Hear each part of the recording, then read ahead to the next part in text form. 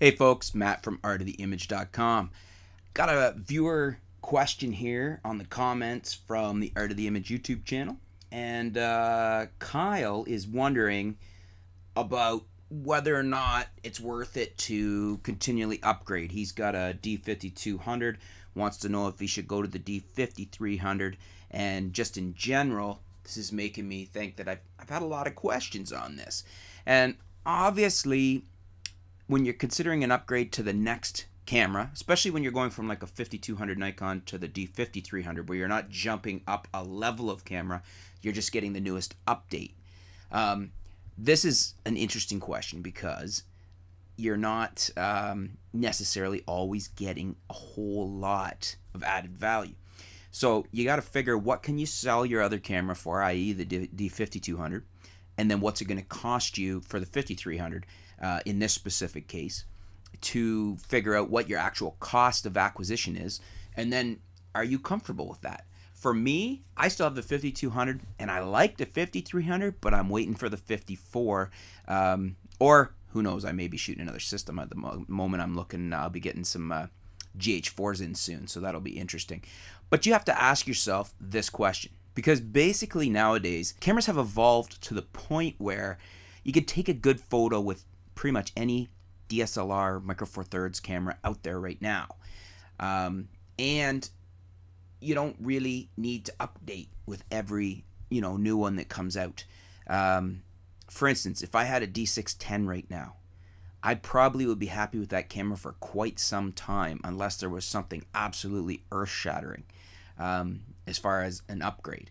Uh, what Kyle's talking about, the 5200, there's not enough of an update in there for the 5300 for me to buy that. If I was considering going to a, a next level up, like the 610 or even the 7100, then you know you might want to, to weigh that in. But basically nowadays the cameras are so advanced. Uh, I'm on at least an every other body update, and when I say that, I mean in the same product line. So, for instance, if I wanted to update my 5200, I won't really look at it unless there's some amazing new update to it, which there really wasn't in the 5300. It was just a refinement. Um, that I won't look at it till the next body line. So, in other words, the D5400. Or even then, if that's not enough of a bump, uh, although I suspect it'll have 4K by then, um, then I would look at the next one. So, what I'm saying here is if you're not jumping into the next level of camera, so say you got a T5i and you want to go to the 70D. That's a jump. You're in a D5300, you want to go to the 7100. That's a jump right out of the, the, the level of camera you're at. We're talking about an update to your existing camera line. So unless there's something earth shattering as far as what the update brings, I would recommend nowadays staying on and skipping it. So uh, a skipping cycle, if you will. So like every other body that comes out, if you want to stay in that same level of camera, that you would move up to every other one, or even every other second one, because they're getting so good now. Um, I mean, I could I can keep taking photos into eternity with the 5200. It's the video more that that the advancements they're bringing that would cause me to want an update. So there you go, folks. If you're not jumping into another level of camera, moving up in, in what uh, class of camera you're in, and you're just looking at updating your current body to the latest and greatest of uh, update of it. Uh, I, you know, every other camera is uh, more than enough, I think, and maybe even beyond that. Maybe you can be on every every two updates or every three, whatever it is for you, uh, makes you comfortable, and consider very closely what the update brings. That's what's really going to be the deciding factor. So the answer to Kyle here is no. I would not go to the 5300 from the 52 because there's not enough difference in them for me.